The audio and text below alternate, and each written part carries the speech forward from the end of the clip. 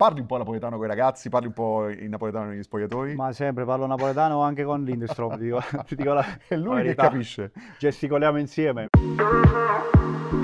Ciao a tutti, benvenuti a una nuova puntata di questo format che parla di musica, Let Music Play. Io sono Decibel Bellini e con me c'è Pasquale Mazzocchi. Ciao Pasqui! Ciao, ciao a tutti. Siamo nel centro sportivo di Castelvolturno e ti sto intervistando da giocatore del Napoli. Se te l'avessero detto da bambino ci avresti creduto? Eh, sì e no, ti dico la verità, è un sogno che si è avverato e cerco di godermelo ogni giorno. È pazzesco, no? Sap- Sapere di indossare questa maglia, di essere nato a Napoli e di essere adesso un giocatore del Napoli.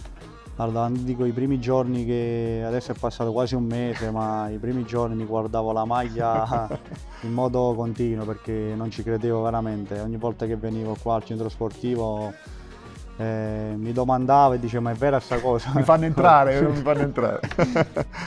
Poi adesso piano piano mi sto ambientando e mi sto abituando. È bello. Eh sì, molto. Uh, da bambino in famiglia, eh, quando stavi con i tuoi, eh, eravate sei, sei fratelli, no? Sei figli. Sì. Uh, chi comandava sulla musica? Chi decideva la musica da mettere in famiglia? Chi era quello che diceva si sente questa musica? Ma guarda, in realtà parte tutto da, da mio papà, Ok. che faceva il cantante napoletano, andava a fare i vari matrimoni e poi questa cosa è stata tramandata anche ai figli.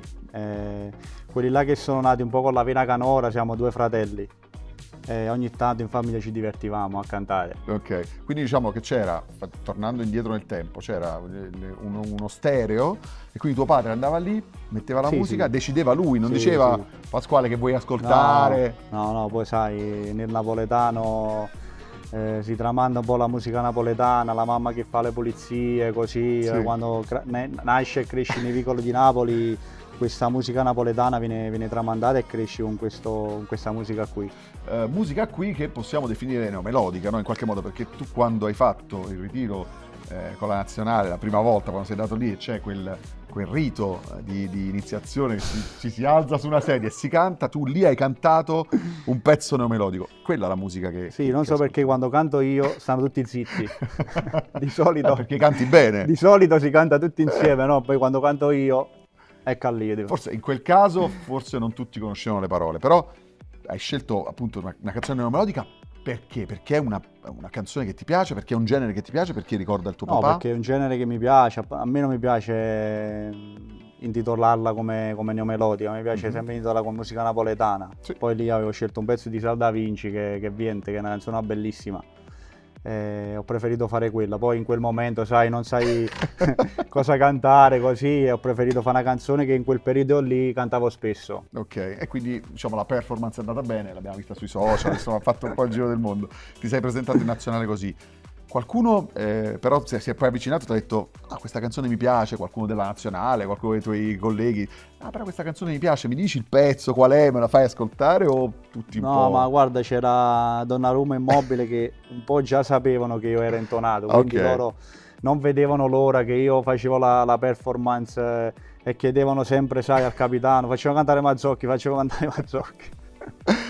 Sei stato eh, in nazionale, abbiamo parlato del Napoli, però io voglio tornare a quando il Napoli ti ha chiamato. Eh, la notte in cui sei stato preso, in cui poi avete firmato, in cui eh, eri definitivamente un, un giocatore del Napoli, la prima persona a cui l'hai detto chi è stata? I miei genitori, i miei genitori, eh, a parte mia moglie ovviamente. Mhm. Eh, mio papà è stato sempre una persona che è uno di quei tifosi napoletani sfegatati. Eh, lui quasi piangeva. Eh, Eh, poi mia mamma mi ha raccontato che, che alla firma eh, è scoppiata a piangere. Io non c'ero, però posso, posso immaginare, è stata una cosa bellissima.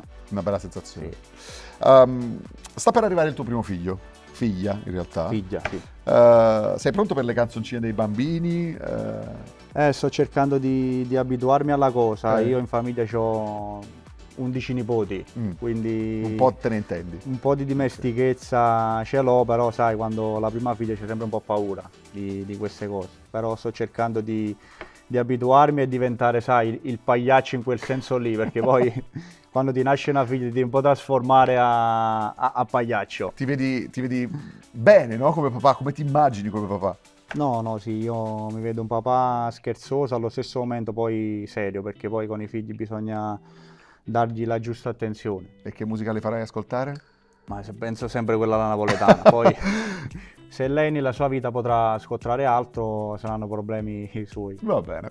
Um, leggo questa frase che hai scritto. Una volta, hai detto, ho costruito la fortezza del mio carattere con i mattoni che mi hanno tirato addosso. Eh, perché tu sei uno che ha fatto tantissimi sacrifici per arrivare dove sei arrivato. Eh, però se dovessi pensare a una canzone, se dovessi pensare a una canzone che ti ha dato forza nei momenti in cui invece non c'era tutta questa luce, no? nei momenti in cui magari eri un po' giù, nei momenti in cui pensavi di non farcela, che canzone ti ha caricato, ti ha dato la forza per andare avanti? Ma guarda, non c'è una canzone in particolare, sono una persona molto riflessiva anche in quello che, che ascolta. Eh, vado in base al periodo, magari sono il periodo dove sono un po' giù di morale, cerco di ascoltare musica che ti tira certo. un po' su, no? Eh, questo mi accade anche nel pullman prima di andare allo stadio, cerco di, di ascoltare musica che mi faccia pensare ai momenti passati che ho vissuto, le difficoltà che ho vissuto e questo mi danno forza per affrontare i momenti un po' quelli là più belli, sì. perché poi il calcio, diciamocelo, è un momento di serenità. C'è stata però una canzone che ti è stata vicina nei momenti brutti o nei momenti in cui pensavi di, di, non farcela? Ma se devo andare a pensare a una canzone precisa ti dico eh, Hai vinciuto tu di, di, Nino D'Angelo, quindi è quella più o meno la, la canzone che... Ti ha, dato, sì. ti ha dato energia, forza sì, per sì. superare quel momento. Uh, c'è stato un concerto che hai visto che ti è piaciuto molto, un concerto a quale sei stato? Dico la verità, non Pochi. sono mai stato ad un concerto. Ok, pochi Dico bar. la verità, mai stato. Però uno che vorresti vedere? Tipo, se avessi il tempo? Proprio quello là di Nino, Nino, Nino. Sì. Beh, sarà tra l'altro allo stadio, eh, quindi chissà. magari è un idolo. Riusciamo a organizzare. Nino, veniamo a vederti. Um, con Nikita Contini sei ormai praticamente l'unico napoletano rimasto in squadra. Parli un po' napoletano con i ragazzi, parli un po' in napoletano negli spogliatoi? Ma sempre, parlo napoletano anche con Lindstrom, ti dico, ti dico la, È lui che capisce. Gesticoliamo insieme, no. infatti le foto che vedete che ridiamo, no, gesticoliamo. E tu stai imparando però la sua lingua. No. Un po' mastico un pochettino di, di, inglese, ma le cose basilari, dai. Senti, nello spogliatoio eh, c'è, la, c'è, la, musica, c'è una cassa, ma metti le musiche, le tue musiche, ancora riesci? No, ti, ti dico la verità, ancora no, ancora no, ma tra un po' mi sentiranno anche cantare parecchio. Quindi arriverà un po' di musica napoletana sì. anche nello spogliatoio. Jolier a Sanremo, eh, naturalmente insieme a lui eh, ci sono i The Colors, Angelina Mango, eh, insomma, mi sembra che i tifosi del Napoli rappresentino molto bene la musica a Sanremo. Um, ora che sei un, un, calciatore, sei riuscito a scriverti con qualcuno di questi artisti? Sei diventato amico con qualcuno di loro? Ora che sei un calciatore del Napoli? Ma guarda, io con Giolera abbiamo qualche amico in comune, non okay. ho mai avuto il, piace, il piacere di, di, conoscerlo. Ovviamente in questo periodo ho sentito tante, tante critiche no? nei suoi confronti, però io penso che ogni napoletano che sia un padre o no, una madre, ehm, bisogna che, che, si pongano una domanda. E la domanda è, se avessi Jolier come figlio, sì. ne sarei orgoglioso? Beh, sì, assolutamente sì. E allora io penso che se tutti si, si facessero questa, questa, domanda, io penso che ci sarebbero zero critica. Assolutamente. Quindi quello che ti posso dire è di andare sempre avanti con la, le sue canzoni perché è un ragazzo veramente forte scrive dei pezzi assurdi e spero che, che vinca. Oh, incrociamo le dita, eh. Um, una canzone che vorresti ascoltare allo stadio quando esci dagli spogliatoi, corri verso il campo, inizia il riscaldamento, una canzone che vorresti sentire al, al Maradona? Che ti piacerebbe? Ah, vabbè, quella là di Maradona è... è la canzone che mi fa alzare i peli fin qua su, quindi va bene quella. Ti emoziona? Quella la mettiamo, sì, la suoniamo no. praticamente ogni va domenica. Va bene, va benissimo. Ti mettiamo quella? Sì, sì, assolutamente okay. sì.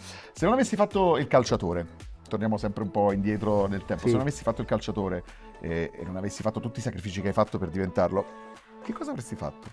C'è un'idea, una... Forse mi sarei buttato sulla canzone. La musica, no? O a disegnare perché mi piace tanto disegnare e sono anche bravo. Il mio sogno era quello di fare la scuola artistica, sì. Sai che non lo sapevo? Sì, sì, sì. Disegni ancora? Qualche volta. E con la musica invece che fai? Oltre a cantare? Oltre a cantare l'ascolto in macchina, mia moglie mi fa una testa così perché sono sempre ad ascoltare musica e poi lei giustamente dopo un po' dice basta. Decide un po' sulla musica lei no. o niente? No. È, dittatura musicale. No, sì, sì. Uh, casualmente, casualmente io ho qui un microfono. No. E anche se tu hai espressamente detto che non avresti cantato, io volevo darti questo microfono e chiudere questa intervista No. con, una, con una domanda. Abbiamo parlato di musica, hai detto che avresti fatto il cantante, però ci canti un pezzettino di qualcosa, piccolo. Ma guarda, facciamo una scommessa, dai. Sì. Facciamo una scommessa. Se, se dovesse succedere che se, Mhm. dovessi, se dovessimo vincere con il Milan, te, te la faccio. Va bene? E allora guarda, noi abbiamo registrato tutto, poi torniamo e ci canti per il canale YouTube del Napoli. Sì. Cosa? Se vinciamo, Già dec- già raga, sai? poi decidiamo, Decidiamo, poi va decidiamo insieme. va bene. Grazie mille Pasqui, grazie per A essere voi, stato con noi a voi. e naturalmente torniamo prestissimo qua. Ciao.